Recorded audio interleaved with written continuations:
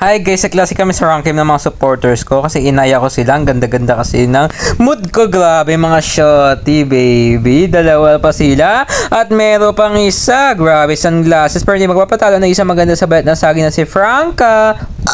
O yan, nag-start ng picking. Siyempre si Franca ang ating gagamitin. Tapos mag all blue build tayo para masarap ang ating kakainin. Sana all naka-affinity. Kaloko si Bonbon, biglang binula si Silong per ipaghiganti ko siya, di ba? Nahook din kita. Mwah! Si Tina hinahabol si Ian. Sama na naman ako dyan. O grabe, nag-winter truncheon tayo nang walang galawan. Bakit ka ba nakikinis mo yung kill ko dyan? Desperado si Lance Bayet, umaanli dash per si Franca, bigla kang pinashpash. O yan, nakalto ko ni Franca sa mukha yawa. Tapos dito si Atlasa, bigla tayong hinila. Hala, nakakasama pa lang pag 10 times a day.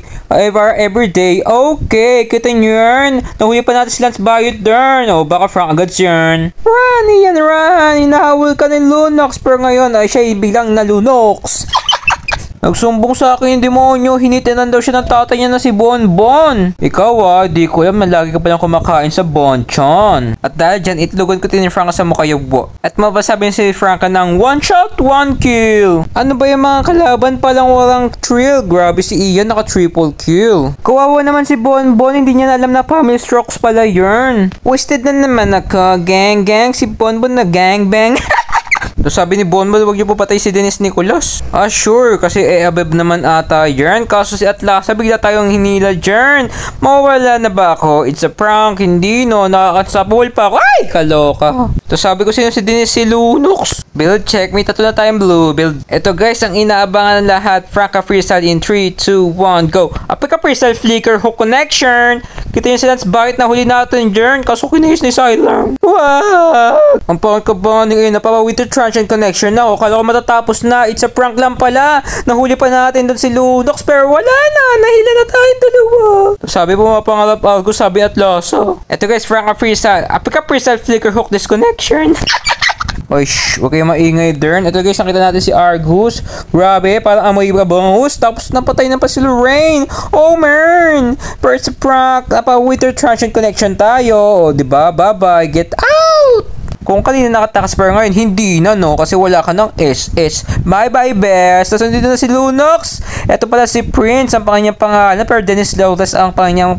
Ano yan? Siguro transgender yun. Pinalitan niyo ng pangalan pero Prince yung kanyang umagahan. Siyempre, tipi-tipi lang sa Jedi. At dito na po nagtatapos ang mobile niya si Bang Bang. At si Frank ay nagangwang charis. At ayun guys, nanalo si Frank. Kakita niyo yan. Eh guys, grabe. oh, Blue na blue ang aking build. What's next? Do you want to see mga i-idolo? 3.0. Si Lance Bayot.